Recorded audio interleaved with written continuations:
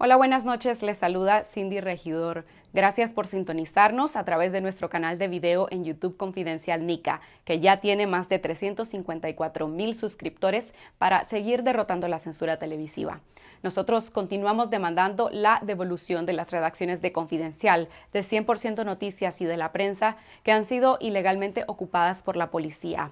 Exigimos la suspensión del Estado policial y la liberación de más de 170 presos políticos y la anulación de los juicios que se llevan a cabo contra los precandidatos presidenciales de la oposición, líderes políticos y cívicos, defensores de derechos humanos, empresarios y periodistas que fueron secuestrados por el régimen de Daniel Ortega para eliminar la competencia política el pasado 7 de noviembre en una votación en la que Ortega se proclamó ganador sin competencia ante una masiva abstención y sin el reconocimiento de los nicaragüenses y de la mayoría de países de América y Europa. Continuamos exigiendo que se restablezcan las libertades democráticas en el país para despejar el camino hacia una verdadera reforma electoral y elecciones libres como una salida pacífica a la crisis que vive Nicaragua. A cuatro años de la rebelión ciudadana de abril de 2018, Nicaragua vive la peor crisis de derechos humanos de su historia reciente bajo la dictadura Ortega Murillo.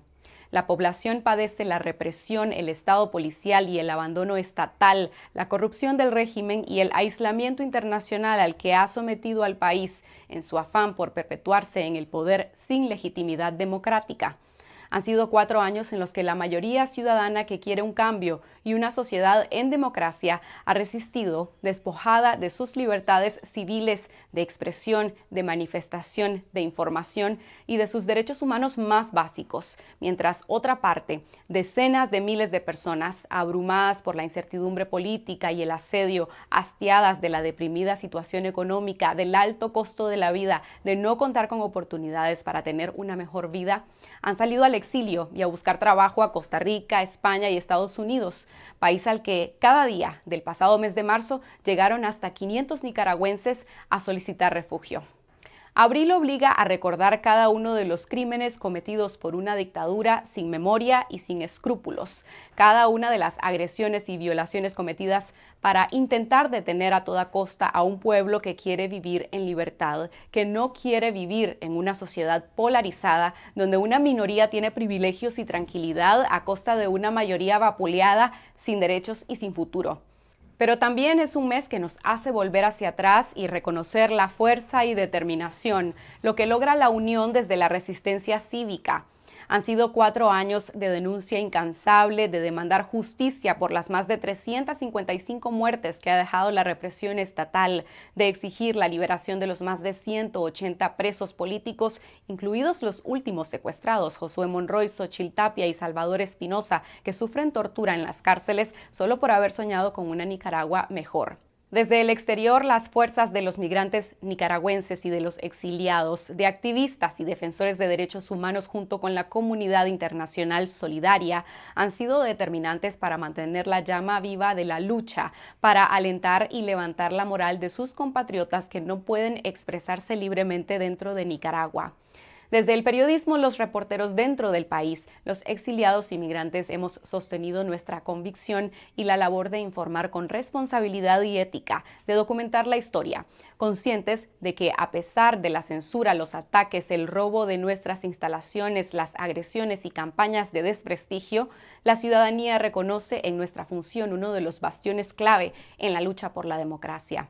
En este abril, los nicaragüenses reafirman que su empeño persiste, que se esfuerzan todos los días, silenciosamente en algunos casos, más visiblemente en otros, y confirman que están intactos sus principios, la convicción y el trabajo incansable para lograr esa nación que anhelan. Esta semana los nicaragüenses dentro y fuera del país han conmemorado el cuarto aniversario de la rebelión de abril con diversas actividades como manifestaciones, eucaristías, foros virtuales y vigilias mientras el régimen ha lanzado una nueva ola de arrestos y deportaciones y ha continuado su ofensiva contra las organizaciones de la sociedad civil al despojar de su personería jurídica a 25 más para totalizar más de 160 ONGs que dejarán de existir en Nicaragua, entre ellas la CPDH, la última defensora de derechos humanos que conservaba su estatus legal. Hoy hablaremos del significado de abril de 2018 en la vida del país y las expectativas de cambio que siguen latentes en la ciudadanía a pesar de la represión estatal. Desde su exilio, el analista político Eliseo Núñez, la integrante del Consejo Político de la Unidad Nacional Azul y Blanco María Laura Alvarado, el defensor de derechos humanos Gonzalo Carrión, el excarcelado político Yubran Suazo y la líder campesina Francisca Ramírez hablarán sobre la vigencia de las demandas de la rebelión y la resistencia ciudadana. Les tendremos los reportes e imágenes de cómo conmemoran el levantamiento ciudadano de 2018 desde Miami, Florida, en Estados Unidos y en San José, Costa Rica, dos de los principales destinos de la migración y el exilio nicaragüenses. Además, conversaremos con Mario Chamorro, fundador de CODENI, la Federación Coordinadora Nicaragüense de Organismos No Gubernamentales, que trabajan con la niñez y la adolescencia. Es una de las 25 organizaciones canceladas la mañana de este miércoles 20 de abril por la Asamblea Nacional controlada por el régimen de Ortega.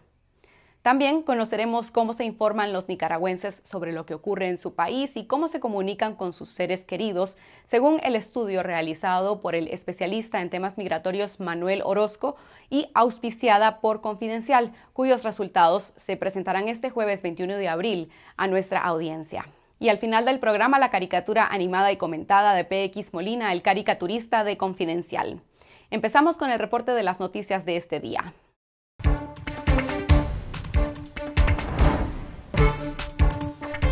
El representante de comercio de Estados Unidos excluyó a Nicaragua de la reasignación de la cuota azucarera adicional de 2022, enviando así un primer mensaje para el gobierno de Daniel Ortega en torno a la aplicación de medidas contempladas en la ley Renacer que incluyen la revisión del CAFTA. Cuando las naciones azucareras no pueden cubrir la cuota asignada, Estados Unidos la reasigna al resto de países según su criterio, lo que suele traducirse como un mensaje político. Durante las tres reasignaciones efectuadas en 2021, Nicaragua obtuvo contingentes adicionales por alrededor de 5.000 toneladas. Una fuente de la industria azucarera de Nicaragua dijo a Confidencial que esta decisión afecta más a los productores que al gobierno, ya que en 2021 el azúcar representó solo el 2% de los productos básicos exportados a Estados Unidos. La Asamblea Nacional canceló este miércoles 20 de abril la personería jurídica de 25 ONGs nicaragüenses, incluyendo a la Comisión Permanente de Derechos Humanos, la Fundación Luisa Mercado y la Fundación Cohen. Con 75 votos a favor se aprobó la ley que anuló a estas organizaciones y ya son al menos 164 las ONGs canceladas por el régimen desde noviembre de 2018, según un recuento de Confidencial. También fue cerrada la Asociación para el Desarrollo de Solentiname, fundada en 1982 por el fallecido poeta nicaragüense Ernesto Cardenal. La Asamblea Nacional canceló estas organizaciones bajo el argumento de que no habían cumplido con sus obligaciones, como la presentación de sus estados financieros. Sin embargo, dirigentes de algunas de estas organizaciones aseguraron que la documentación fue presentada, pero el Ministerio de Gobernación no la recibió. La Comisión Permanente de Derechos Humanos denunció que su cierre e ilegalización es para evitar la organización que documente los abusos de autoridad en el país. El secretario ejecutivo de la CPDH, Marcos Carmona, dijo que esta organización era la última que legalmente defendía los derechos humanos en Nicaragua, ya que desde diciembre de 2018 el gobierno ha despojado la personería jurídica a ONGs similares, entre ellas el Centro Nicaragüense de los Derechos Humanos. Carmona sostuvo que con la decisión del gobierno nicaragüense no solo están afectando a la institución, sino a todo el pueblo de Nicaragua, porque era la única institución legal que documentaba las arbitrariedades y abusos que se cometen desde los diferentes poderes del Estado y funcionarios. El presidente de Ucrania, Volodymyr Zelensky, advirtió este miércoles, junto al presidente del Consejo Europeo, Charles Michel, de que la próxima tanda de sanciones comunitarias a Rusia por su invasión a Ucrania estarán vacías y no serán lo suficientemente potentes si no incluyen un embargo al petróleo ruso. El presidente ucraniano habló con Michel durante dos horas sobre las áreas en las que la Unión Europea puede ayudar a Ucrania en la guerra iniciada por Rusia e insistió en la importancia de reforzar al máximo la presión de las sanciones y hacer todo lo posible para privar a Rusia de las posibilidades de financiar esta guerra. Por su parte, Estados Unidos anunció una nueva batería de sanciones contra una red de 40 individuos y empresas liderada por el oligarca ruso Konstantin Malofeyev, que supuestamente está ayudando a Rusia a esquivar las sanciones de Occidente. También fueron sancionados el banco comercial ruso Transcapital Bank y la compañía de criptomonedas rusas Bitriver, así como sus subsidiarias. En Nicas Migrantes de nuestro sitio web confidencial.com.ni les recomendamos el trabajo Tania Daley, la reina nicaragüense de la samba en Brasil, la historia de una nica que es reina de una batería de una escuela que participa en el Festival de Río de Janeiro.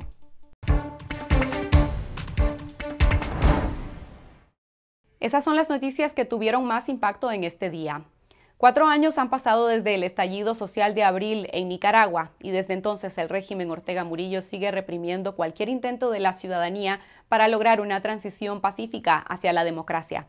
Conversamos con el analista político Eliseo Núñez, la integrante del Consejo Político de la Unidad Nacional Azul y Blanco, María Laura Alvarado, el defensor de derechos humanos y presidente del colectivo de derechos humanos Nicaragua Nunca Más, Gonzalo Carrión, el excarcelado político de Masaya, Yubrank Suazo, y la líder campesina Francisca Ramírez sobre lo que significó abril de 2018 en la historia del país y las expectativas de cambio que nacieron hace cuatro años.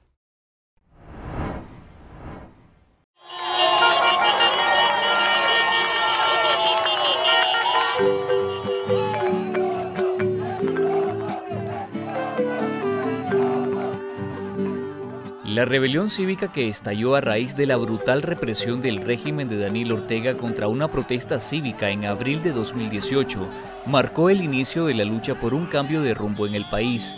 Hola, ¿qué tal?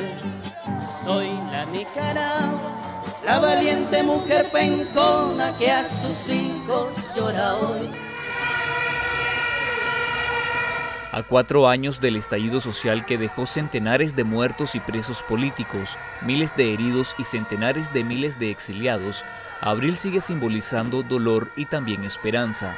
Trae resistencia, trae ese resurgimiento de un pueblo que ama la libertad, que ama la democracia, que ya la saboreó y no está dispuesto a renunciar a ella. Pero también trae consigo el dolor de las madres que perdieron a sus hijos, de aquellos compañeros que actualmente están en las cárceles, resistiendo con gran valor, con gran dignidad, con gran determinación a sus convicciones, a sus principios. También viene a la memoria el dolor de tantos exiliados. El 2018 significa ese despertar, ese saber que el cambio es real, la necesidad de cambio parte de toda la ciudadanía, esa conciencia colectiva de que queremos reconstruir un país y que para eso necesitamos salir de la dictadura Ortega Murillo y sobre todo eh, Abril nos recuerda a esa unidad. La memoria de la rebelión de abril sigue representando una amenaza para el régimen de Daniel Ortega, que en cada víspera de la conmemoración radicaliza su represión y su discurso de odio. ¿Cuántos escenarios fueron coreografiados, construidos aquí en ese nefasto abril que todos aborrecemos y que nunca volverá? Cada año, la dictadura ejecuta arrestos arbitrarios, allanamientos de viviendas y la radicalización de su estado policial de facto frente a la resistencia no violenta de la ciudadanía se ha impuesto un estado de terror brutal, feroz, ¿verdad? Este, que se agrava cada día más, pero que también a la vez es la demostración eh, grande de una debilidad de una familia que, que pretende imponerse precisamente eh, con la razón de la fuerza, de los fusiles. Y eso es todo lo que tienen. No tienen nada que ofrecer esa familia en el poder y por eso la confianza. Abril sigue siendo todos los días para nosotros un referente. La rebelión de abril y las demandas por el cambio no han fracasado. La rebelión tenía claro sus demandas. Quienes no tenían claro era el gran capital, porque nunca quisieron sacrificar lo económico. Siempre eran quienes ponían los intereses económicos, no en las demandas por el cambio. El cambio sí el pueblo lo logrará. La resistencia cívica sigue siendo la apuesta para lograr un cambio democrático en el país. Y confiscaciones de importantes medios de comunicación. En las luchas no violentas normalmente no es en el primer intento que se logra el objetivo porque eh, es más fácil enojarse que organizarse. Y eso es lo que sucede con este modelo de lucha.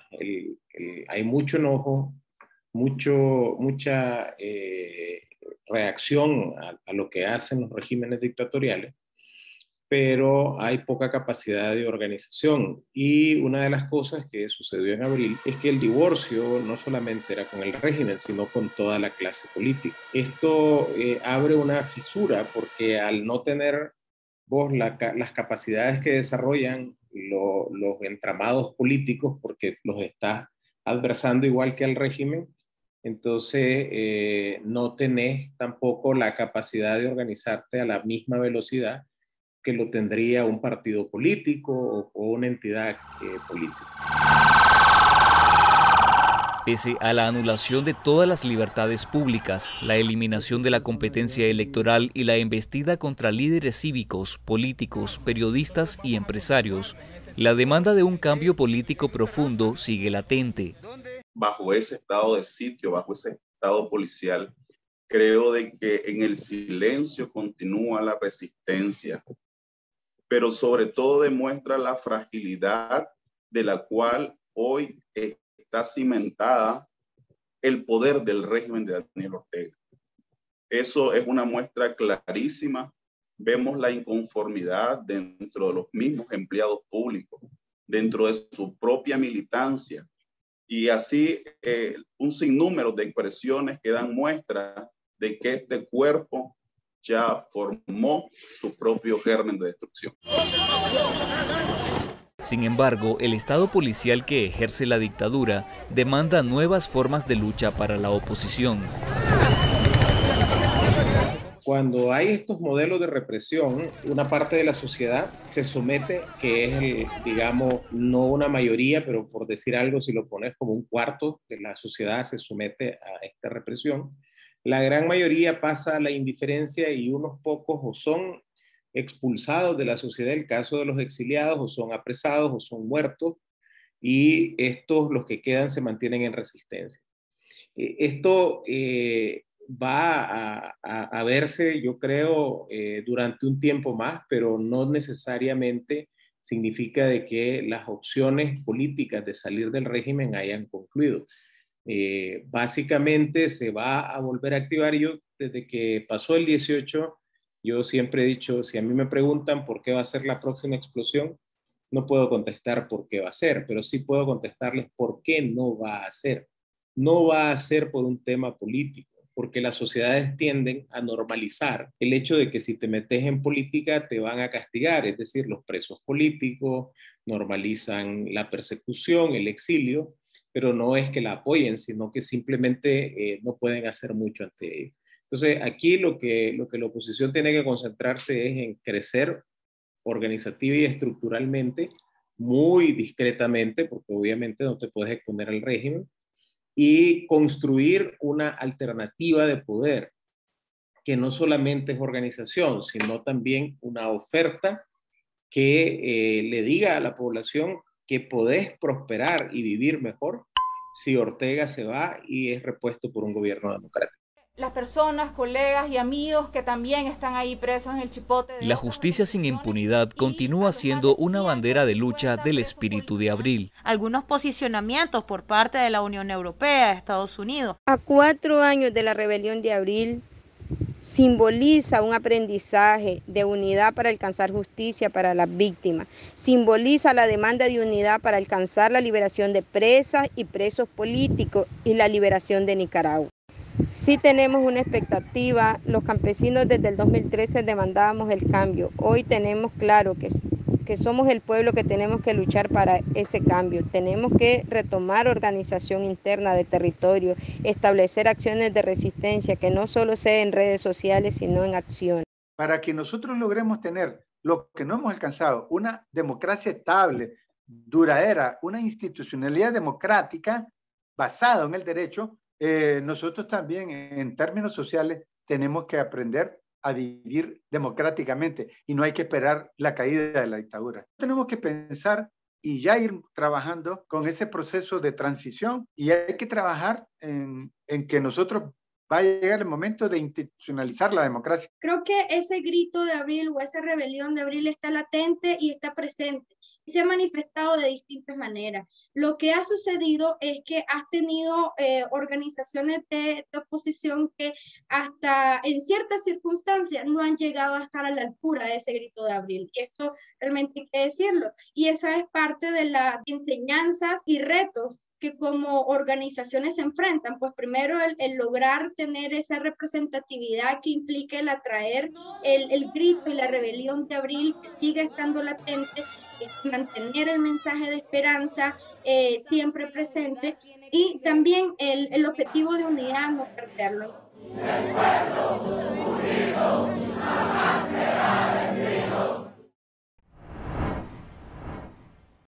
Con plantones, marchas y misas, los nicaragüenses en Miami conmemoraron el cuarto aniversario de las masivas protestas ciudadanas en Nicaragua, demandando justicia, libertad y elecciones libres.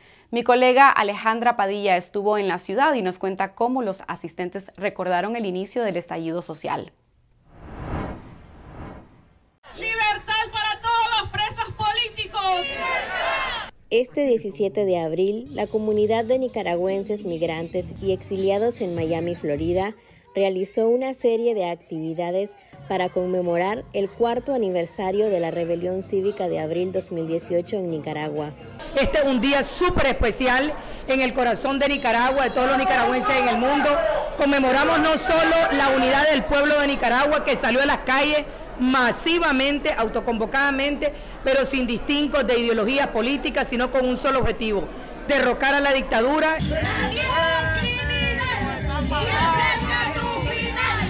A la una de la tarde, cientos de nicaragüenses asistieron a la misa de Domingo de Resurrección, presidida por Monseñor Silvio Báez y el padre Edwin Román, en la Iglesia Católica Santa Ágata en Sweetwater. De ese estallido ciudadano de rebelión pacífica que fue doloroso. Ese dolor no hay que banalizarlo porque es muy serio. Nadie ha jugado. La vida de muchos nicaragüenses estuvo en juego y se sacrificó y el país sigue sangrando a causa de ese recuerdo. Al finalizar la misa, un grupo de nicaragüenses se reunió frente al consulado de Nicaragua en Downtown, donde partió la Marcha de las Cruces, encabezada por madres de abril exiliadas, quienes demandaron justicia sin impunidad, mientras sostenían fotografías de sus hijos asesinados por el régimen de Daniel Ortega y Rosario Murillo.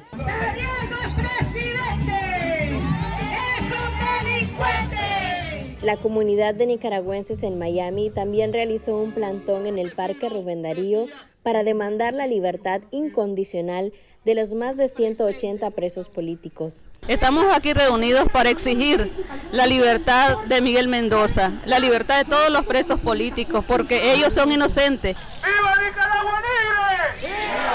Nos hemos unido dos organizaciones, dentro de ellas una organización de víctimas de abril dentro de la Florida que se está conformando. Además, nos unimos jóvenes, estudiantes eh, nicaragüenses eh, exiliados, movimiento campesino y otras organizaciones para celebrar y conmemorar eh, el cuarto aniversario de eh, abril, de la lucha cívica de abril. Se necesita de más apoyo, de, un trabajo en conjunto, ¿no? en unidad.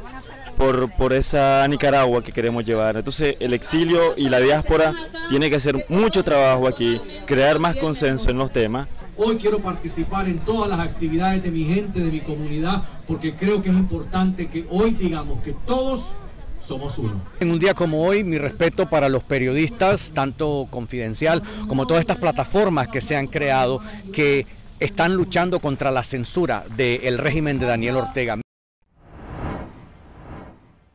Veamos ahora cómo exiliados inmigrantes nicaragüenses en San José, Costa Rica, participaron de actividades para recordar la rebelión de abril, para demandar justicia por las víctimas mortales de la represión y la liberación de los presos políticos en Nicaragua. Catherine Estrada Telles nos cuenta.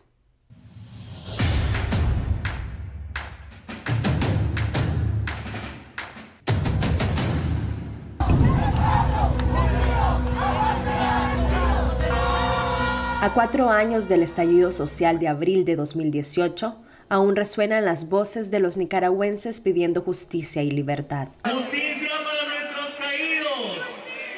¡Viva Nicaragua libre! Desde el exilio, nicaragüenses en Costa Rica conmemoran la fecha a través de diversas actividades. Este domingo 17 de abril, la Feria Pinolera, coordinada por una red de mujeres exiliadas nicaragüenses, recordaron el inicio de la rebelión ciudadana y que a través de sus emprendimientos resisten con dignidad.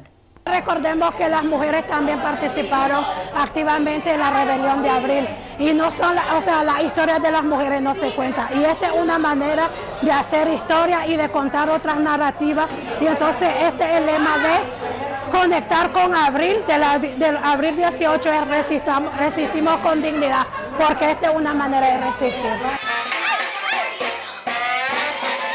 Esta es una réplica de la celda de castigo que utilizan para las y los presos políticos en el Chipote en Nicaragua.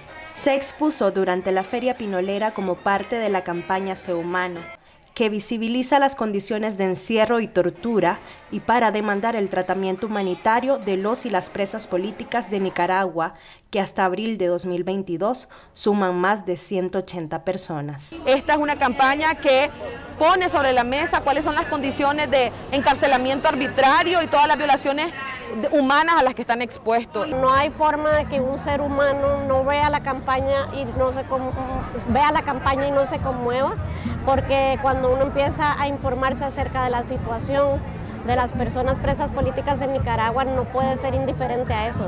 Yo soy costarricense y yo no puedo ser indiferente a eso. Seguimos luchando por esa justicia a pesar del acoso, las amenazas y la persecución y el encarcelamiento a muchos de nuestros familiares. Susana López es la madre de Gerald Vázquez, uno de los jóvenes asesinados en el ataque a la Iglesia Divina Misericordia el 14 de julio de 2018 en Managua, ejecutado como parte de la represión estatal ordenada por el régimen Ortega Murillo.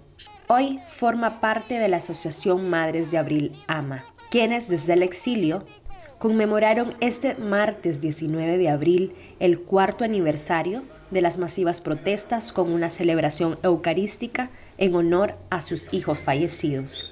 Asociación Madre de Abril a cuatro años exigiendo justicia.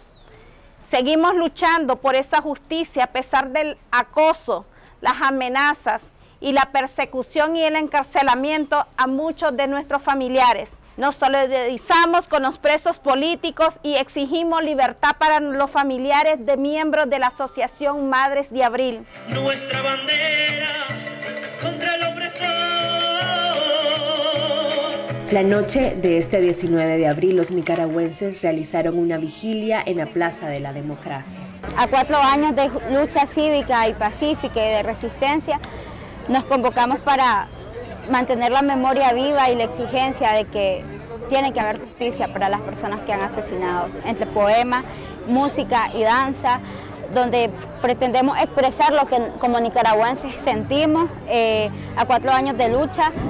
También tenemos videos de familiares de presos y presas políticas, familias que están sufriendo por la, por la ausencia de un familiar que tienen injustamente encarcelado. Es un día muy difícil porque conmemoramos, recordamos todos los atropellos y sobre todo la represión brutal que hemos vivido hace cuatro años.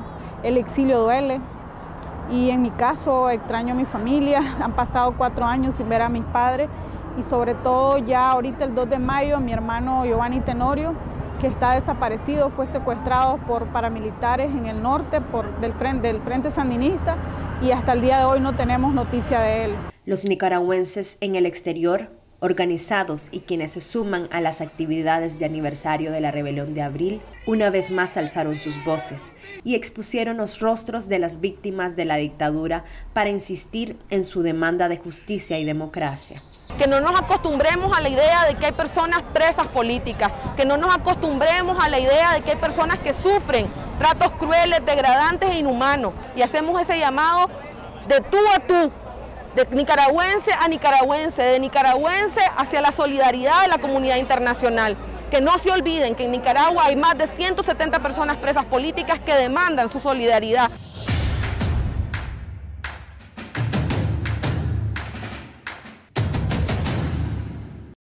La dictadura consumó este miércoles 20 de abril el cierre de 25 ONGs en Nicaragua para sumar más de 160 organizaciones de sociedad civil que ya no existen en el país y que trabajaban en comunidades en todo el país en temas de desarrollo social, político, económico, de derechos humanos, democracia, de educación y de salud.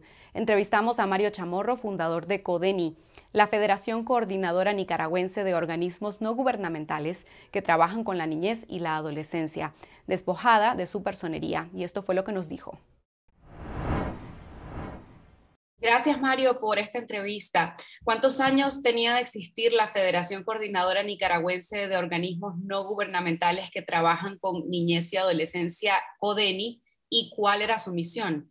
Bueno, CODENI fue fundada en 1992 como una instancia de coordinación de organizaciones que trabajaban para la promoción, protección y defensa de los derechos de la niñez y la adolescencia. En su andar de casi 30 años de fundación y de trabajo, la CODENI mantuvo una membresía de más de 40, 45 organizaciones. Al 2018, antes de la crisis, la CODENI tenía 39 organizaciones afiliadas que tenían aproximadamente unas 350 mil beneficiarios en todo el país, incluyendo las regiones autónomas, y tenía aproximadamente 1.450 colaboradores que trabajaban en esas organizaciones con más de un con de 16.000 voluntarios en las diversas comunidades donde trabajaba.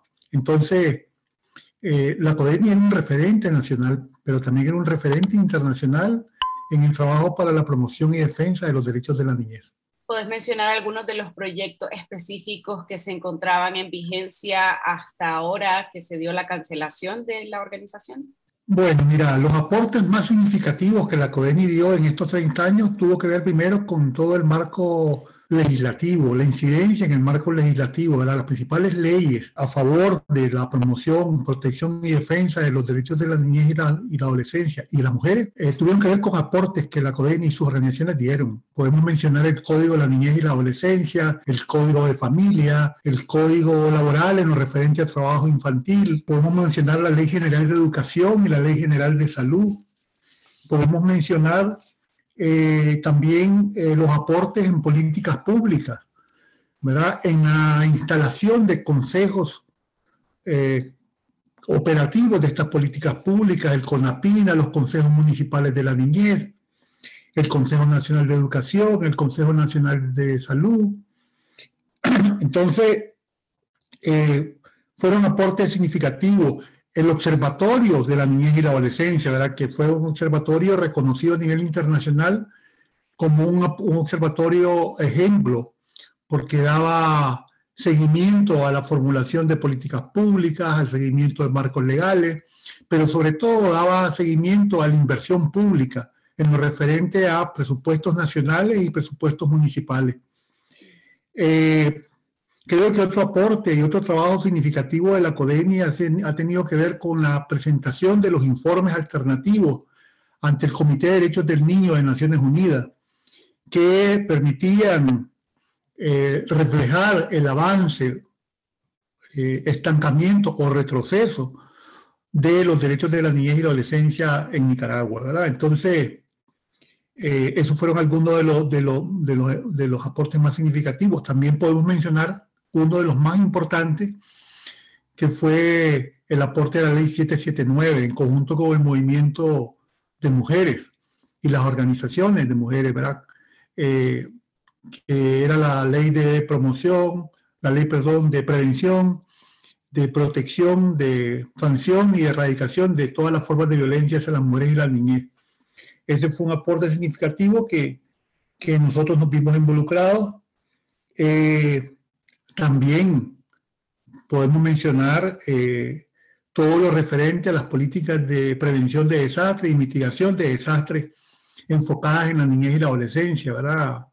A partir de esto que pasó con el MICH en Nicaragua. Entonces, la, la CODENI eh, y sus organizaciones eh, hicieron un aporte significativo al tema de la niñez en Nicaragua, incluyendo eh, ese cambio cultural y social de cómo se mira al niño como objeto de protección a, a ser reconocido como sujeto de derecho, ¿verdad? mediante campañas públicas, programas de televisión y de radio, y diversas acciones, ¿verdad? Desde los medios de comunicación, los, aportes que hicimos a, a, los diplomados eh, en, derechos de en, derechos de la niñez y comunicación social para periodistas de radio, televisión, prensa escrita, también fueron aportes de la CODENI. ¿Cuál es el sentir de las personas que trabajaban hasta ahora con CODENI y de los beneficiarios? Desde que el gobierno del dictador Ortega subió al poder, las tensiones se dieron entre las organizaciones y, el gobierno,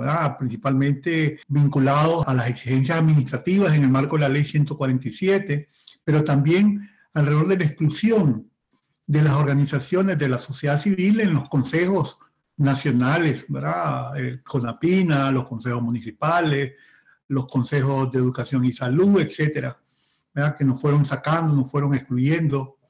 Y después eh, vino la tensión en el trabajo comunitario, alrededor de amenazas, de chantajes, de, de, persecución del trabajo en las comunidades donde trabajábamos. Entonces, eh, el, el, tema de, las, de, de, la relación gobierno, sociedad civil, en particular con las organizaciones de, organizaciones de la CODENI, se fueron tensionando hasta que el 2018 ¿verdad? surgió la crisis y, y fueron mucho más fuertes, ¿verdad? Con, ya con la ley esta de, para prevenir el terrorismo, la ley de lavado eh, y todas las demás leyes que el gobierno después del 2018 formuló y que vino cercando a las organizaciones a su trabajo. Creo que, que aquí los grandes perdedores en esta, en esta cancelación de esta personería jurídica de la CODENI, pero también de varias organizaciones, incluyendo las mías, las dos generaciones, CISA, Fundación del Río, CENIT, Cantera, que fueron miembros de CODENI, es que los niños y las niñas y los adolescentes quedan en una situación de desprotección, en una situación de indefensión, eh, en, el marco de una crisis económica, social y política fuertísima, ¿verdad? Que, en la que el gobierno no está haciendo nada para, para atenderlo. Creo que la posición fuerte que Codeni tuvo en su momento, al inicio de la crisis, de denunciar la violencia, de, denunciar los asesinatos de más de 29 niños y adolescentes en el marco de la represión, fueron situaciones que tensaron, pero que nos vimos obligados por ética a denunciar estos hechos. Pero ¿cómo valoras esta decisión final del gobierno de cerrar Codeni? Eh, las autoridades alegan que se trata de un tema de incumplimiento de requisitos creados bajo leyes nuevas, como las que mencionabas, como la de agentes extranjeros, pero varios representantes de las entidades afectadas, que son más de 160, han aclarado que ellos o sí tenían sus documentos al día o gobernación no les recibía la documentación que pedía. ¿Conoces cuál era el caso de Codeni y cuál es tu valoración? ¿Hay acaso motivos ulteriores para cerrarle? Yo creo que Codeni, como las demás organizaciones, hicimos todos los esfuerzos por estar al día, aún en el marco de nuestras propias crisis internas, ¿verdad? De, económicas. Eh, muchas organizaciones hicieron esfuerzos significativos y la misma CODENI hizo siempre esfuerzos significativos para cumplir con cada día las demandas, las mayores demandas de, del Estado para, para, las organizaciones, ¿verdad? Eh, no creo que ese sea el fundamento principal para cancelar la personalidad jurídica de la CODENI, ni de las, ni, de las demás organizaciones que hemos sido canceladas. Creo que aquí se tiene que ver con, con, con más una, una, una, pasada de cuenta alrededor del trabajo que hemos hecho las organizaciones a, a, a deslegitimar el trabajo que hemos hecho a favor de la población nicaragüense eh, y al, al trabajo a favor de los derechos humanos de las personas, en particular en el caso nuestro de los niños y las niñas. ¿Cómo se va a ver afectado el país al quedarse sin organizaciones de derechos humanos, al menos en lo formal? El CENIT ya no tiene personería jurídica, CPDH también acaba de ser cancelada. ¿Qué impacto tiene eso en la sociedad? Bueno, lo que te decía anteriormente, la situación de indefensión, de desprotección en la que quedan los ciudadanos nicaragüenses ante un Estado eh, represivo, eh, un Estado que no está velando por los derechos humanos de, sus ciudadanos, eh, en una situación compleja, económica, social, política, en una situación de represión de los órganos armados, de, de las instituciones de represión, los nicaragüenses nos encontramos, particularmente los que están dentro de Nicaragua, en un total indefensión. No tienen dónde acudir, no tienen a quién poner una denuncia ante una violación de derechos humanos. Los órganos del Estado, la Procuraduría de Derechos Humanos, eh, no figura para nada en, este, en esta situación. ¿Han tomado alguna decisión en CODENI respecto a si seguirán funcionando en la práctica como lo han decidido otras organizaciones defensoras de derechos? Yo creo que las organizaciones tenemos el derecho de definir estrategias para seguir operando de diversas maneras. Eh, creo que los años de experiencia, eh, creo que los años de, trabajo que hemos tenido como organizaciones no se borran con la cancelación de una personería, el respaldo de la, de la ciudadanía al trabajo de las organizaciones, la red social que hemos creado en las comunidades no desaparece porque desaparece una personería jurídica. Creo que de alguna u otra manera las organizaciones seguiremos trabajando en favor de los derechos humanos de, las, de los ciudadanos nicaragüenses y en particular de los más indefensos que son los niños y las niñas. Los nicaragüenses en Costa Rica mantienen su vínculo con Nicaragua a pesar del tiempo que lleven viviendo en el vecino país. A los migrantes les interesa lo que pasa en su lugar de origen y mantienen constante comunicación con sus seres queridos. Catherine Estrada Telles conversó con varios de ellos a propósito de la presentación de un estudio sobre los migrantes nicaragüenses en Costa Rica realizado por el investigador de diálogo interamericano Manuel Orozco y auspiciado por Confidencial. Veamos lo que dicen los migrantes nicas.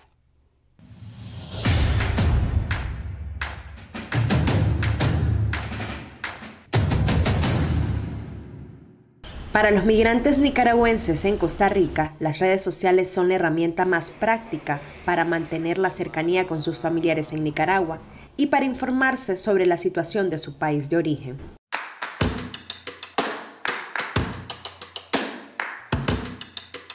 Mi familia vive en Estelí y bueno, nosotros nos comunicamos generalmente por WhatsApp, eh, que es como el medio más rápido, ¿verdad? Y Facebook, utilizamos redes sociales pero generalmente estamos llamándonos como todos los días por vía WhatsApp, eh, mantenemos una comunicación como fluida, principalmente con mi mamá, mis tías, mis primos. Tengo mis hijos, mis hermanos, toda mi familia casi está allá, por medio de teléfono, por WhatsApp más que todo. ¿Cómo se llama tu emprendimiento? cuánto lo haces? Sí, casi diario. Imagínense, son mis hijos. Nos comunicamos vía WhatsApp, ¿verdad? Este, básicamente, porque no se puede con más nada, ni, ni correos, y lo menos posible, y, y, hablar con ellos lo menos que se tiene que ver pues con temas sociopolíticos por el tema de ellos allá. Con ellos me comunico a través de videollamada, en realidad, por WhatsApp. ¿Cada cuánto? Una vez a la semana. Creo que hace unos 10 años hubiera sido muchísimo más difícil mantener la comunicación constante porque uno no tenía las herramientas que tenemos ahora, ¿verdad? Creo que los celulares y el internet y las cámaras han hecho que uno se pueda comunicar más fácilmente, más frecuentemente con tu familia. Tengo hermanos que están en Estelín, hijos, eh, como dos o tres veces a la semana lo hacemos. A veces cuando estamos muy activos con los datos a través de WhatsApp, porque a veces uno tiene y ellos no tienen. A veces hay que buscar la manera de cómo eh, enviarles algo de acá para allá para que activen los datos y, y, la comunicación sea efectiva. WhatsApp en su mayoría, llamadas normales y algunas redes sociales como Facebook. WhatsApp es la plataforma que más utilizan los NICAS como medio de comunicación. El estudio Los migrantes nicaragüenses en Costa Rica, vulnerabilidad e implicación de su integración, realizado por el investigador de diálogo interamericano Manuel Orozco y auspiciado por Confidencial, indica que casi el 50% de los entrevistados lo hace a través de este medio. El restante a través de llamada directa o Facebook. Hasta cierto punto es uno de los medios más seguros porque por Facebook muchas veces perdemos las cuentas y hay información que es muy sensible y sabemos de que uno en Costa Rica y la situación que estamos viviendo como, como personas refugiadas en este país, pues no podemos manejar esta información por redes eh, de fácil acceso para otras personas. Entonces lo más prudente es como WhatsApp. Los nicaragüenses, inclusive quienes tienen más de un año viviendo en Costa Rica, siempre se mantienen al tanto de lo que pasa en Nicaragua. Precisamente porque ellos viven allá, mi familia, estoy al pendiente de lo que está sucediendo, entonces generalmente estoy viendo como noticia en Facebook, en Instagram, también este, algunos canales de YouTube principalmente porque no tengo como mucho tiempo para estar viendo televisión, entonces a través de mi teléfono puedo como perfectamente buscar cualquier noticia. Sí me interesa porque sí quiero saber cómo está mi país, cómo sigue la parte económica para las personas que dejamos nosotros allá, qué es lo que están viviendo ellos allá. Entonces sí nos interesa y siempre estamos pendientes de las noticias. lo que está pasando en nuestro país Nicaragua no solo afecta a los nicaragüenses en Nicaragua, sino a nivel internacional, a donde hemos ido a parar todos los nicaragüenses. Entonces tenemos que estar muy al tanto de las noticias, tanto locales, nacionales e internacionales. Cada día estoy ahí al pendiente de las noticias, de lo que está pasando en Nicaragua y también agarrando esas noticias para eh, condenar esas acciones de parte del gobierno. El estudio de diálogo interamericano y confidencial muestra que casi el 23% de los migrantes informan a través de sus familiares en Nicaragua, el 23% a través de Facebook, el 14% por medios de comunicación costarricense, un 13% por medios nicaragüenses y los demás por WhatsApp. La encuesta se realizó para identificar las causas de la migración de los nicaragüenses, su incorporación e integración en Costa Rica, y sus perspectivas sobre el futuro de los nicas que llegaron antes y después de 2018. El informe concluyó que la población migrante nica es vulnerable, sobre todo la que arribó hace cuatro años. También apunta a la necesidad de una inclusión verdadera en Costa Rica y destaca que, más allá del envío de remesas, los nicas están interesados en mantener su vínculo con su patria.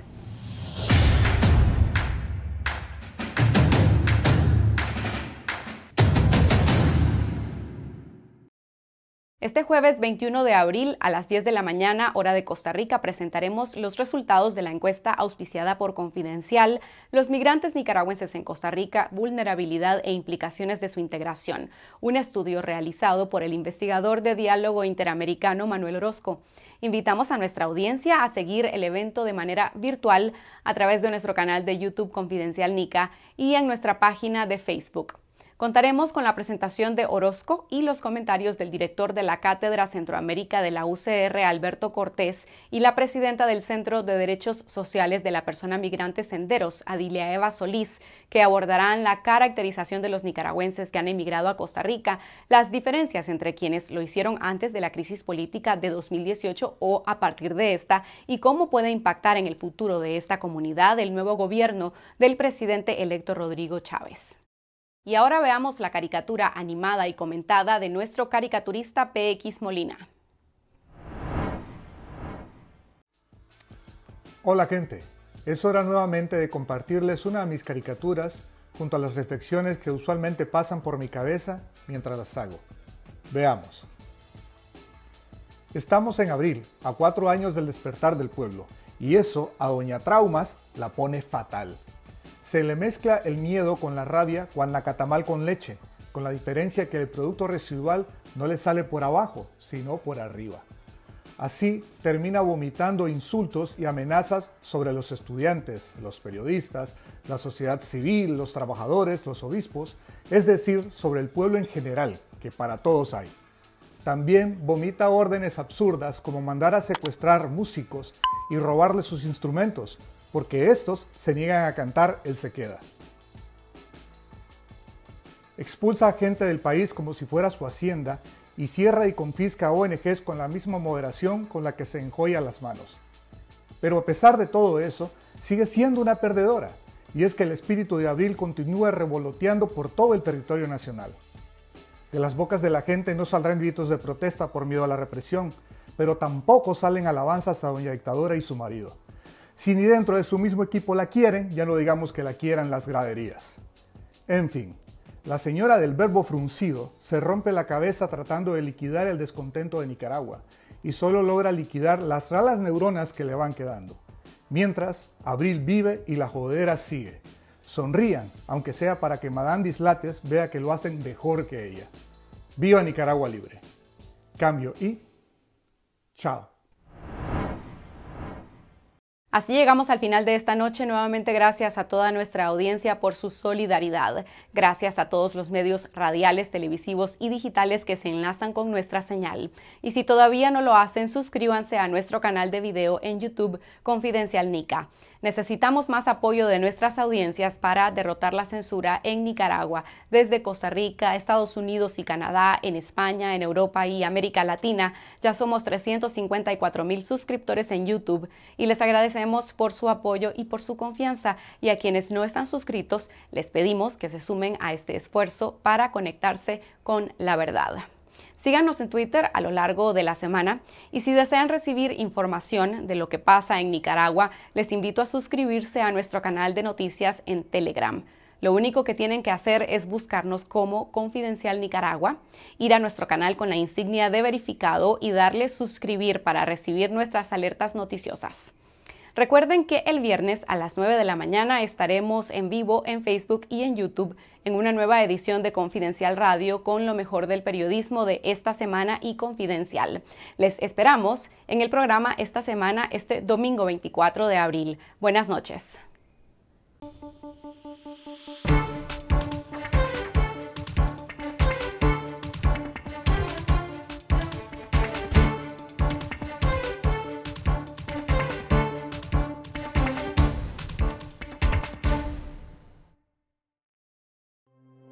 Confidencial, 25 años investigando y contando la verdad, la política, la economía y la sociedad. La aspiración de un país con democracia, prosperidad y justicia. La corrupción, la pobreza y la violencia. Los temas que afectan e interesan a todos los nicaragüenses. Revelamos la verdad que otros ocultan. Fiscalizamos el poder. Promovemos el debate público Hacemos periodismo independiente. Por una ciudadanía crítica y mejor informada. Contá con nosotros, estamos cada vez más cerca de vos. Nunca podrán confiscar la verdad. Confidencial, conectados con la verdad.